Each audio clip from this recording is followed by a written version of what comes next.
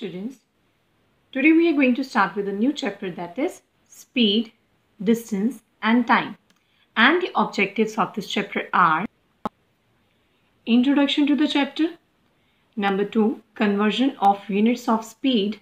Number 3. To find speed, distance and time. And number 4 is to find the average speed. Right? So let's get started. So here First of all, we will start with the speed. What do you mean by speed? Speed of an object is the distance traveled by the object in a unit time, right? So what is speed? Speed of an object is the distance traveled by the object in a unit time, right? So here we can have the relationship between distance, speed and time that we can represent it by a triangle and then we can form the formulas for speed, distance and time. So here you can see that I have made a triangle here and here I have written D, here S and here T. Alright. So now D means what? Distance. S means speed. T means time. Right. Now in this triangle, I have written here DST and here I have written the sign of division. Divide. Here also I have written divide and here multiply. Right? So now from here we can form the formulas for speed, distance and time. First of all, we will make the formula for distance. Now here you can see that I have written distance is equal to speed multiplied by time. Now how can we, we can form this formula from this figure? So here you can see distance. Distance is equals to opposite to distance. What is written there? S and T and multiply. So that means S multiply T. So S means speed, T means time. So distance is equals to speed multiplied by time. So here I have written the formula. Next one is speed. So how can we find the speed? So opposite to speed, what is written? D divided by T. D means distance, T means time. So the formula is distance upon time. Now for time, we can have the formula as, so here I have written time, t for time and opposite to time, what is written? d divided by s, that means distance divided by speed. So here we have the three formulas for distance, speed and time. Alright, now we will talk about the units, units of speed, distance and time as well. So here you can see D, D means distance, T for time, S for speed. So if we will have distance in meter and time can be in seconds as well as in minutes, then the units for speeds will be meter per second, right? Or meter per second you can write in the uh, short form or you can write here meter per minute. I'm repeating it again. Distance, if the distance is in meter and time is in second, the speed will be meter per second. If the distance is in meter and time is in minute, then you will write here meter per minute.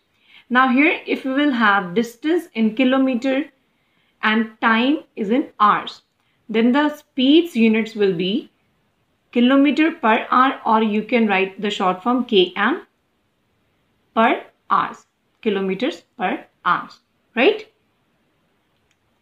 Now let's take a first example here to find the speed. So first of all, read the statement. If distance is equals to 25 meters and time is equals to 5 seconds, calculate the speed. Now, whatever is given to you, you will write here distance. Distance is equals to 25 meter. Time is equals to 5 seconds.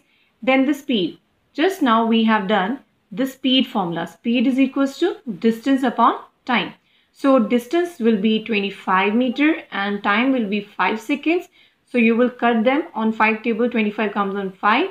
So you will have 5 meter per second. So speed will be equals to 5 meter per seconds.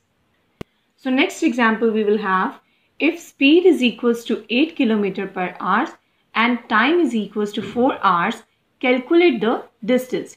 So here First of all, we will write here whatever is given to you. Speed is equals to 8 kilometer, uh, kilometer per hour. Time is equals to 4 hours. So distance will be equals to speed multiplied by time. So speed's value is equals to 8. So uh, multiply by time, time means 4. So here students you can see that kilometer per hour. These are the units for speed and unit for time will be equals to hours, right? So the distance will be in kilometer, right? So what you will write here, right? So here the units for the distance will be in kilometers. So 8 multiplied by 4 kilometer will be equals to 32 kilometers, right? So now move to the next example. Here's example number third. So first of all, read the statement. So here you can see that if distance is equals to 18 kilometer and speed is equals to 9 kilometer per hour, then calculate the time. So what to do here? We need to find the time. So here, whatever is given to you, you will write here. Distance is given to you as 18 kilometers. So you will write here distance is equals to 18 kilometer. Speed is equals to 9 kilometer per hour. And the formula for time is equals to distance upon speed, right?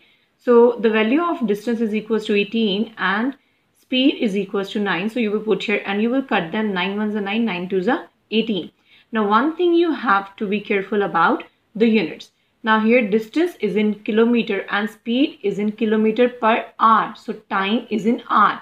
So you will write the units for time will be as hours. So the answer will be time is equals to 2 hours. Right? So now move to the next topic. So now students we will learn about how to convert the units of speed. So here you can see that speed. So speed have its units so it, its units can be meter per second or kilometer per hour or meter per minute, right? So first of all, if we will have meter per second and then we have to change it into kilometer per hour. Similarly, the kilometer per hour can be given to us and we have to change it or convert it into meter per second. Then we have the specific formula to convert these units. So first of all, we will talk about how to convert meter per second into kilometer per hour. So whenever the speed is given to you in meter per second and then we have to change it into kilometer per hour, then the speed will be multiplied by 3600 upon 1000, right? So the answer will be in the kilometer per hour. Now here, if you will have kilometer per hour already given to you in speed and we have to convert it into meter per second, then the speed will be multiplied by 1000 upon 3600. Right? So now we will solve some examples to understand how can we convert meter per second into kilometer per hour or kilometer per hour into meter per second. So let's get started. So here is the first example. Convert the speed is equals to 72 kilometer per hour into meter per second. So first of all, what is given to you? Speed is equals to 72 kilometer per hour. And we need to convert it into meter per second, right? Now, for converting kilometer per hour into meter per second, we have to multiply the given speed with 1000 upon 3600. So you will write here 72 multiplied by 1000 upon 3600 meter per second. Right? So now student, one thing you have to be careful about the cutting. So there is a way to cut down. So uh, what is that way? First of all, you will cut these last two zeros, right? And then you will cut it on two table. So 2 5s are 10 and 2 18s are 36. So you are left with now 5 upon 18 then you can cut 18 on 18 table 72 directly or on 2 table 2 9s are 18 and 2 36 are 72 and 9 1s are 9, 9 4s are 36. So now you are left with 4 into 5 that is 20. So your speed will be equals to 20 meter per second, right? So it was a very easy example. So now move to the next example. So here's the statement, convert the speed is equals to 10 meter per second into kilometer per hour. So given is speed is equals to 10 meter per second. We have to convert it into kilometer per hour. For converting it into kilometer per hour, we need to multiply the speed that means 10 multiplied by 3600 upon 1000 kilometer per hour. right? So again, we will cut the last two zeros and on two table, two 18s are 36 and two 5s are 10. So now you are left with 18 upon 5. So now 5 and 18 can't be cut on one common table. So 5 ones are 5, 5 twos are 10. So two 18s are 36. So you will have speed is equals to 36 kilometer per hour. Alright. So students, today we have discussed the formulas to find speed, distance and time. Also we have learnt about how to convert the speeds units that is kilometer per hour into meter per second and meter per second into kilometer per hour. So now I hope all of you are able to do the related homework that we have sent you in your SNAP homework. But before starting your homework students, please go through the YouTube links because all these links are very helpful for you to understand these type of concepts.